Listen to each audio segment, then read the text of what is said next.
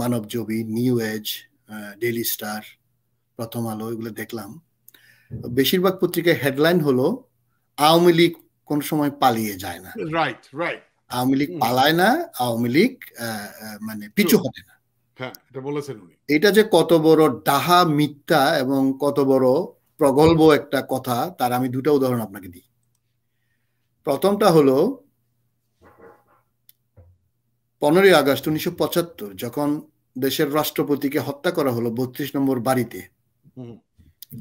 ওটার উপর আমি আমি অনেকগুলো বই পড়েছি তার মধ্যে একটা বইয়ে হুবহু যিনি ওই লাশগুলা দাফন করার জন্য নিয়ে নিয়ে যাওয়ার নেতৃত্ব দিয়েছিলেন colonel M A Hamid.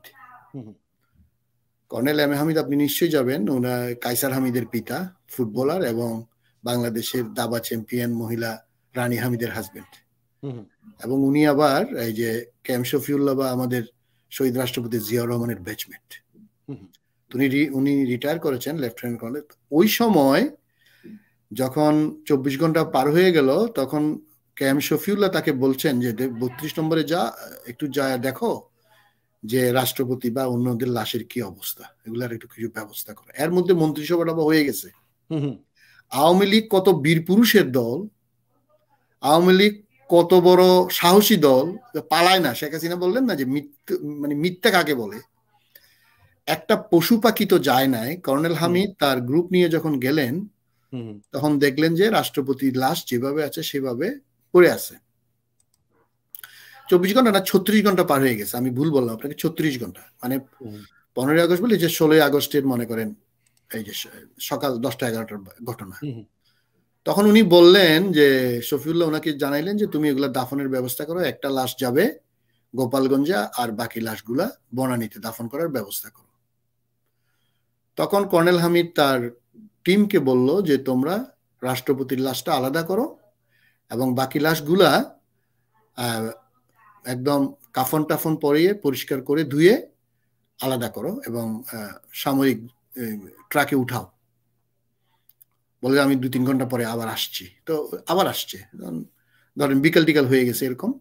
উনি আসছে। আসে বলে যে সব ঠিক? বলে সব ঠিক। তো বলে যে রাষ্ট্রপতির লাশ কোনটা? কয় এটা কয় ঠিক আছে এটা এই গাড়িতে উঠাও এটা হেলিকপ্টারে করে নিয়ে যাওয়া হবে। আর বাকি লাশগুলা একটা গাড়িতে উঠানো হয়েছে এবং এটা নিয়ে যাচ্ছে। তখন ওনার কি জানি মনে হলো। উনি বলেন যে আচ্ছা দাঁড়াও আমি রাষ্ট্রপতির লাশটা একটু দেখি। তখন উনি রাষ্ট্রপতির লাশটা প্যাক করা হয়ে গেছে কাঠের ইয়ের ভিতর বের করে দেখল যদি রাষ্ট্রপতির লাশ না। তখন উনি তো তখন তাড়াতাড়ি বলে যে কি ব্যাপার? ওদেরকে ফিরে আনো। আবার গাড়ি ফিরে আনলে সব লাশগুলো খুললো। ওটা ছিল ওনার ছোট ভাই শেখ নাসেরের লাশ। তখন ওখানে সব খুলে আবার রাষ্ট্রপতি শেখ মুজিবুর রহমানের লাশটা বের করে আনা হলো। তো তখন যদি উনি না দেখতেন তাহলে হয়তো আমরা ওই যে টঙ্গিপাড়ায় যেটা হয়েছে এটা শেখ নাসিরের লাশ থাকতো আর কি। আচ্ছা এখানে আমরা কোনো হত্যাকাণ্ড চাই না কিন্তু হত্যাকাণ্ড তো ঘটে গেছে।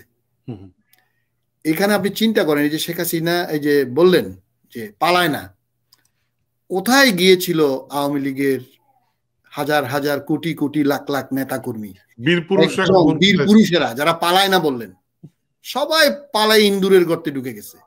একজন মানুষ রাষ্ট্রপতির লাশ নিহত রাষ্ট্রপতির লাশ ছত্রিশ ঘণ্টা যে একজন লাশ চিনিয়ে দেওয়ার লোক বত্রিশ নম্বরে পাওয়া যায় নাই। আরেকটা উদাহরণ আপনাকে দিই। দুই হাজার সাত সালে যখন মাইনাস টু শুরু হলো মাইনাস টুর সময় আপনার এই যে মঈনুদ্দিন ফকরুদ্দিন যারা আমাদের গণতন্ত্র ধ্বংসকারী হাসিনার সহযোগী তার আন্দোলনের ফসল বলে দাবি করা এই যে সরকার তারা দুই নেত্রীকে মাইনাস করার জন্য শেখ হাসিনা তো তার সাথে আন্ডারস্ট্যান্ডিং ছিল তাকে সে চলে গেছে সে পালায় চলে গেছে কি জন্য গেছে? দেখলাম ওখানে একটা ব্যাখ্যা দিচ্ছেন উনি জনসভায় ব্যাখ্যা দিচ্ছেন যে ওনার ছেলের নাকি বাচ্চা ছিল ওনার ছেলের বউ অসুস্থ ছিল তার দেখতে গেছে। আরে বাবা ওনার ছেলে তো আমেরিকাতে এটা কি সত্য কি মিথ্যা এটাও তো যাচাইয়ের ব্যাপার আছে। লন্ডনে কেন উনি ওনার ছেলেকে দেখতে যাবে? ওনার ছেলে তো হইল আপনার আমেরিকায় ছেলের স্ত্রী। তো এই যে মিথ্যুক এই যে পালানো পলায়ন পর আওয়ামী লীগ এই আওয়ামী লীগ একটা ভীতু আওয়ামী লীগের মতো ভীতু রাজনৈতিক দল আরেকটা আছে বলে আমি মনে করি না। আপনি আপনি পঁচিশে মার্চ রাতে দেখেন না এই যে তারা জিয়াউর রহমানকে এত গালি দেয় আপনি পঁচিশে মার্চ কি করলেন? শেখ সাহেব কি করলেন? আপনি ডক্টর কামাল হোসেন সাতই মার্চে তো ভাষণ দিয়েছেন ভাষণের সাথে সাতই মার্চ থেকে পঁচিশে মার্চ পর্যন্ত। আপনি ডক্টর কামাল পঁচিশে মার্চ সন্ধ্যা সাতটা, আটটা পর্যন্ত আপনি ইন্টারকনে বসেছিলেন যে, কি, একটু পরপরই নাকি উনি ফোন করছেন যে, কামাল, কোনো খবর আছে? কোনো খবর আছে? হ্যাঁ কিন্তু উনি ভালো করেই জানতেন যে দেশ, উনি প্রধানমন্ত্রী হওয়ার জন্য তখনও আপনার বসেছিলেন, পাকিস্তানের প্রধানমন্ত্রী হওয়ার জন্য। কিন্তু বীর পুরুষের মতো পঁচিশে মার্চ রাতে উই রিভল বলে রাষ্ট্রপতি জিয়া যে ঘোষণা চট্টগ্রামে দিয়েছিলেন সেটা তো দরকার ছিল না যদি শেখ সাহেব যদি সেদিন ধরা না দিতেন। উনি কেন সেদিন ধরা দিলেন? এটাও তো একটা with all respect to his leadership কিন্তু এটা তো বাস্তব যে উনি সেদিন, আমার মতো মানুষ আজকে আমরা বুঝতে আমাদের কোনো ইয়ে হয় না। উনি ভীতু, উনি ভয়ে সেদিন পাকিস্তানিদের কাছে ধরা দিয়েছিলেন। এতে কোনো সন্দেহ নেই। সুতরাং আওয়ামী লীগ পলায়ন পর্দ। এটা এটা এটা সাহসের কিছু নেই এদের কাছে। একদম ঠিক বলেছেন এবং আরেকটি জিনিস আমি শেষ করছি আমরা শেষ করে দেবো।